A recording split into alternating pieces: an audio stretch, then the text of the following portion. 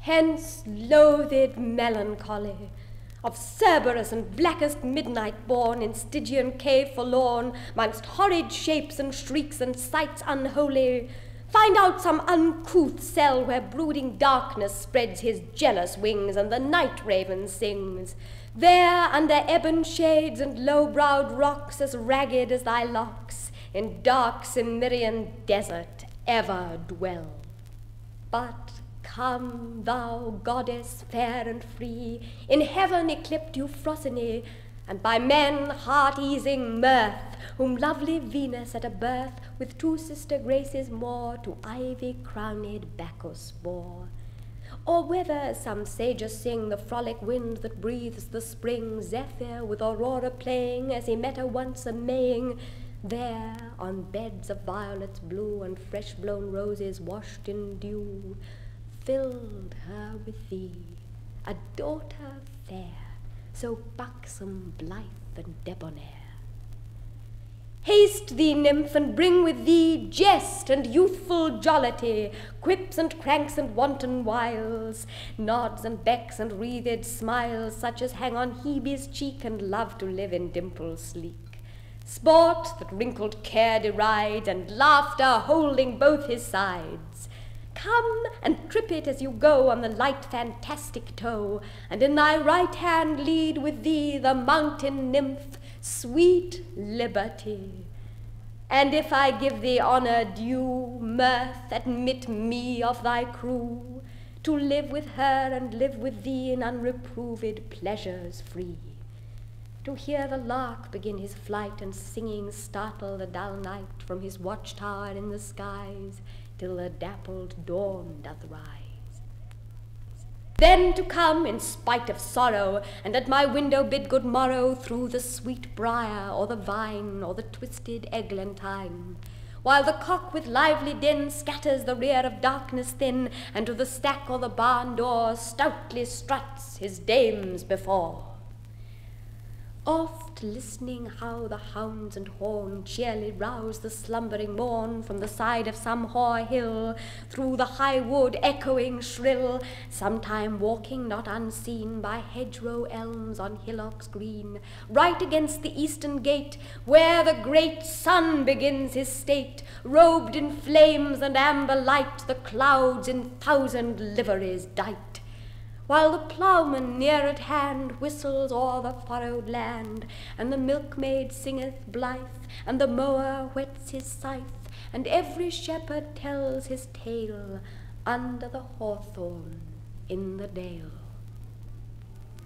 Straight mine eye hath caught new pleasures, whilst the landscape round it measures, russet lawns and fallows grey, where the nibbling flocks do stray, mountains on whose barren breast the labouring clouds do often rest, meadows trim with daisies pied, shallow brooks and rivers wide, towers and battlements at seas, bosomed high and tufted trees, where perhaps some beauty lies, the cynosure of neighbouring eyes.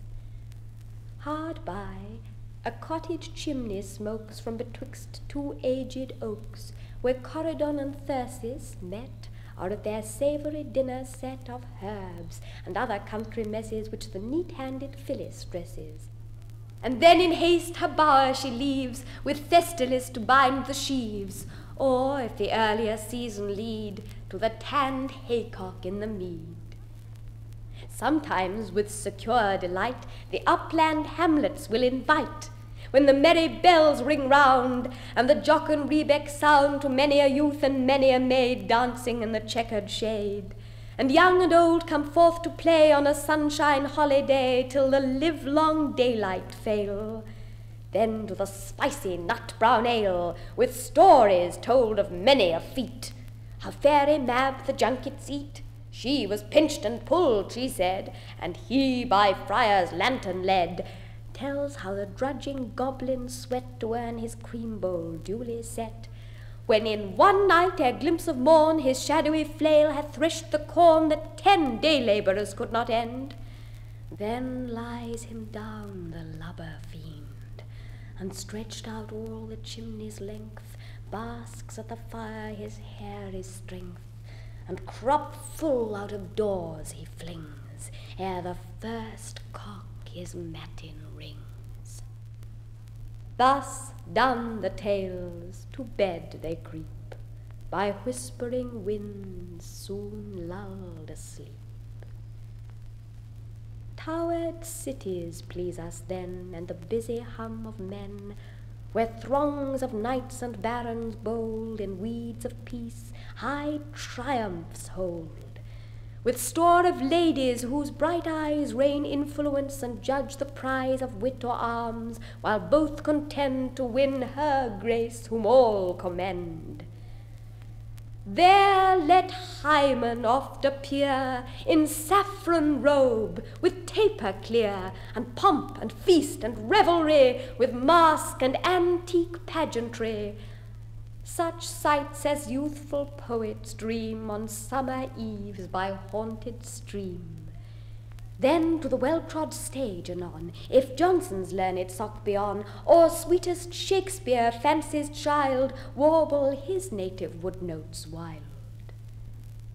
And ever against eating cares, lap me in soft Lydian airs married to immortal verse such as the meeting soul may pierce in notes with many a winding bout of linked sweetness long drawn out, with wanton heed and giddy cunning, the melting voice through mazes running, untwisting all the chains that tie the hidden soul of harmony. That Orpheus' self may heave his head from golden slumber, on a bed of heaped Elysian flowers, and hear such strains as would have won the ear of Pluto to have quite set free his half regained Eurydice. These delights, if thou canst give, mirth with thee I mean to live.